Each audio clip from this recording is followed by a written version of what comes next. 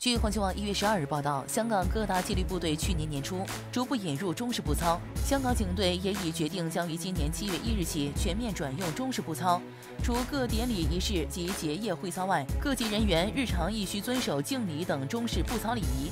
此外，香港警察学院于二零二一年十二月三十日推出中式步操电子学习课程，向人员简介中式步操的引入及应用，与港式步操的重点区别。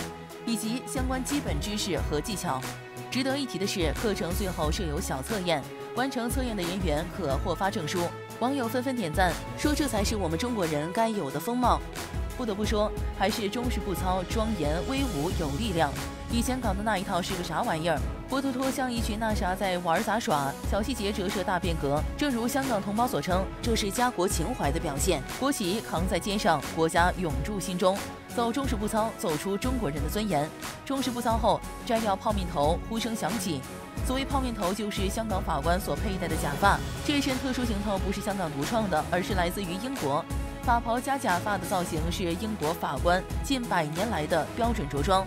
顺便普及一下泡面头，由于欧洲人中世纪一般不洗澡，头上会生各种昆虫及污垢，欧洲小皇室就在聚会时用假发遮掩，这就是泡面头的来历。我们相信，在不久的将来，司法假发一定会在中国香港结束它的历史使命。